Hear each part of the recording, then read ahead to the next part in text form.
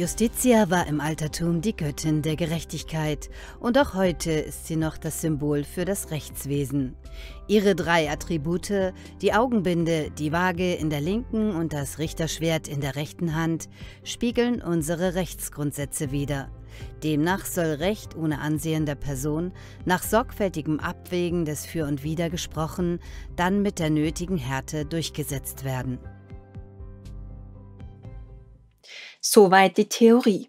Bei einigen Urteilen der letzten Monate könnte ein unbedarfter Beobachter den Eindruck gewinnen, dass bei Justitia die Augenbinde in einigen Verfahren verrutscht ist, die Waage sehr einseitig ausschlägt und das Schwert bei einigen übergroß wird, bei anderen zum Taschenmesser mutiert. Was einer der Gründe dafür sein kann, dass bei großen Teilen der Bevölkerung das Vertrauen in Politik und Rechtsstaat massiv gelitten hat was keine pauschale Schuldzuweisung gegen alle Richter ist, zumal auch für diese der strafrechtliche Grundsatz in dubio pro reo im Zweifel für den Angeklagten gelten sollte. Aber die nachfolgenden Beispiele werfen Fragen auf und stimmen nachdenklich. Erstens. Zwei Urteile des Dresdner Landgerichts. Die Moritzburger Ärztin Dr. Bianca Witschel saß seit Februar 2023 in Untersuchungshaft. Der auf 40 Verhandlungstage anberaumte Prozess vor dem Dresdner Landgericht fand im für Terrorprozesse vorgesehenen Hochsicherheitstrakt statt, in den die Angeklagte in Hand- und Fußfesseln geführt wurde. Wer bei diesen Sicherheitsvorkehrungen eine Bombenattentäterin vermutet, liegt falsch. Am 17. Juni 2024 wurde Dr. Witschel wegen des Ausstellens von 1003 Attesten zur Befreiung von Maskenpflicht während der Corona-Maßnahmen sowie Verstöße gegen das Waffengesetz zu zwei Jahren und acht Monaten Haft verurteilt. Ferner wurde ein Berufsverbot von drei Jahren verhängt und die 47.000 Euro Einnahmen für die Atteste werden eingezogen. So ein Aufwand mit Einzelhaft und Hochsicherheitstrakt wegen Attesten einer Ärztin? Auch der in manchen Mainstream-Medien hochstilisierte Waffenverstoß, dabei handelt es sich um ein fehlendes Prüfkennzeichen an einem Elektroschocker, erscheint bei Dr. Witschel mehr als an den Hahn herbeigezogen. Sie darf als Jägerin und Sportschützin legal sogar Schusswaffen und Munition besitzen. Ebenso sind die circa 45 Euro inklusive Auslagen für ein medizinisches Attest nicht ungewöhnlich. Da werden mitunter ganz andere Preise aufgerufen.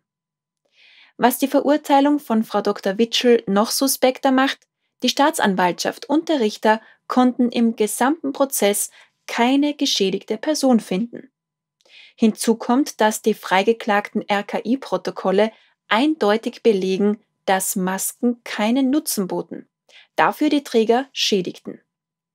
Also genau das, was Dr. Witschel ihren Patienten attestierte und wozu sie laut ärztlicher Berufsordnung berechtigt, um nicht zu sagen in den Fällen sogar verpflichtet war.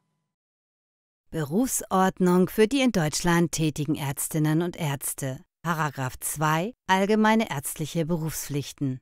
Absatz 1 Ärztinnen und Ärzte üben ihren Beruf nach ihrem Gewissen, den Geboten der ärztlichen Ethik und der Menschlichkeit aus.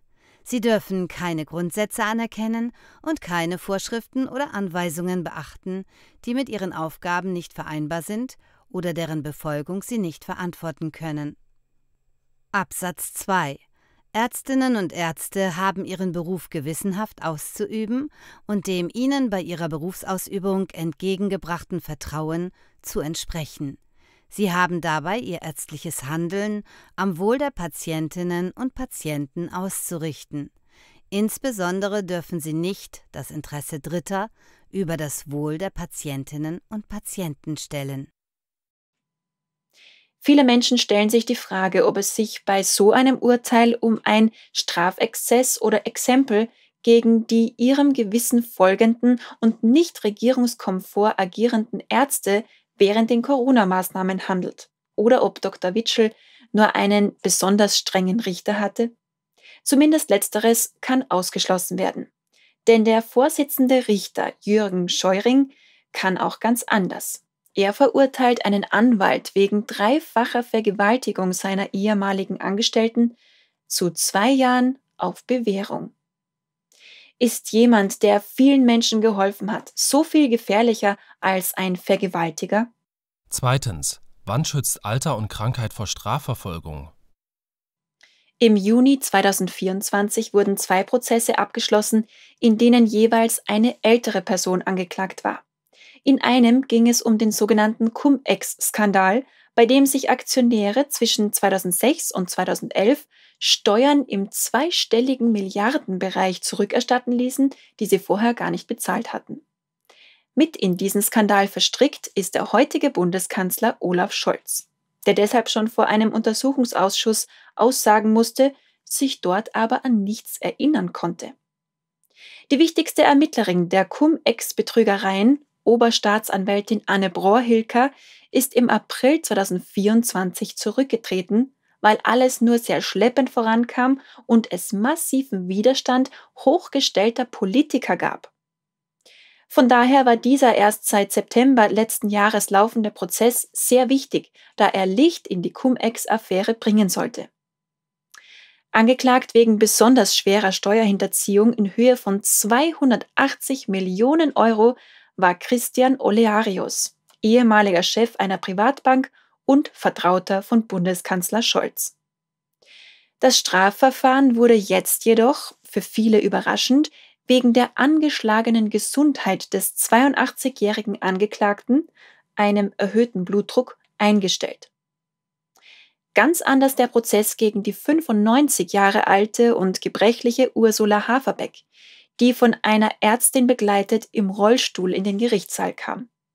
Sie musste fast neun Jahre auf diese Berufungsverhandlung zu einem Prozess vom November 2015 warten. Angeklagt ist sie wegen ihrer Aussage, dass Auschwitz kein Vernichtungs-, sondern ein Arbeitslager gewesen sei. Dafür verurteilte sie jetzt das Hamburger Landgericht wegen Volksverhetzung zu einer Gesamtfreiheitsstrafe von einem Jahr und vier Monaten. Dabei wurde eine bereits erfolgte Verurteilung wegen einer ähnlichen Aussage mit einbezogen. Ursula Haverbeck stand wegen Holocaustleugnung bereits mehrfach vor Gericht und saß deswegen auch schon zweieinhalb Jahre in Bielefeld im Gefängnis.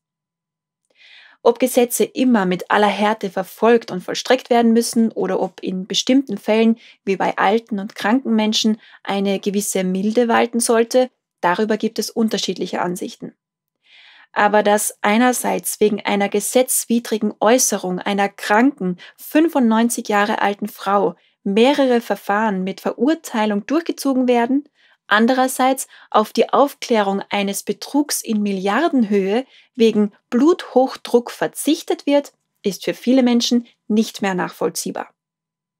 Aber vielleicht gab es auch andere, der Allgemeinheit unbekannte Einflüsse, die dazu führten. Drittens. Gewalt oder Meinung, was ist schlimmer? Die Berichte über eine Gruppenvergewaltigung im Hamburger Stadtpark sorgten im September 2020 für Entsetzen. Anderthalb Jahre später rief das Urteil des Hamburger Landgerichts bundesweit Empörung hervor.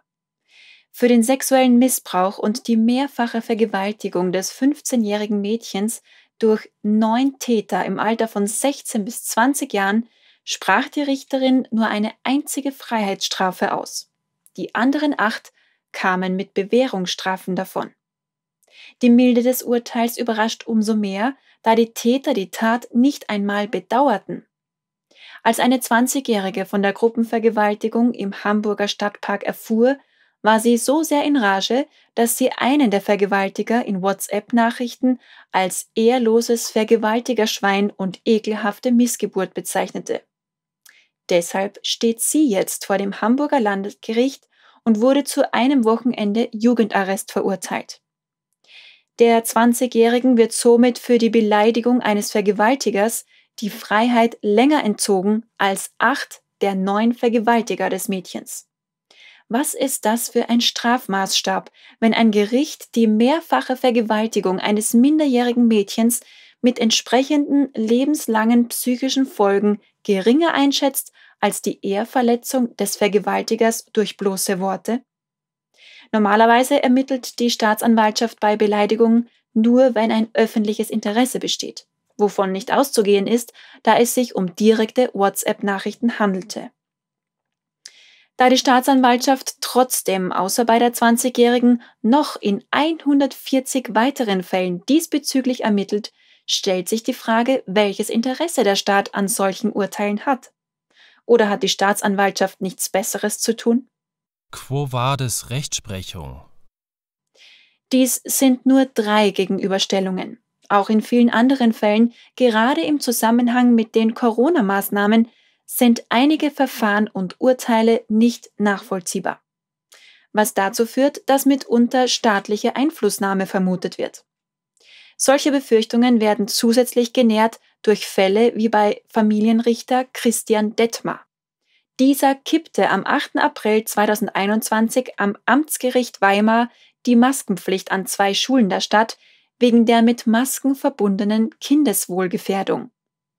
Das hatte für ihn eine Razzia zur Folge, bei der wegen den politisch unerwünschten Urteil sein Büro, sein privates Haus und Auto durchsucht und sein Mobiltelefon sichergestellt wurde. Wie frei sind Richter in ihren Urteilen, wenn sie eine Hausdurchsuchung und Suspendierung befürchten müssen? Irgendjemand muss die Maßnahmen gegen Richter Detmar in die Wege geleitet haben. Staatsanwälte sind in Deutschland schließlich weisungsgebunden, weshalb sie laut Urteil des Europäischen Gerichtshofs auch nicht zur Ausstellung eines europäischen Haftbefehls befugt sind.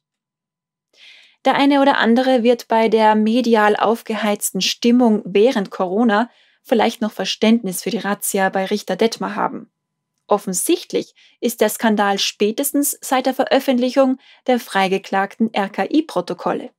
Diese zeigen, dass den für die Corona-Maßnahmen verantwortlichen Politikern bekannt war, dass die Masken weder schützen noch nützen, aber die Träger gesundheitlichen Risiken ausgesetzt werden.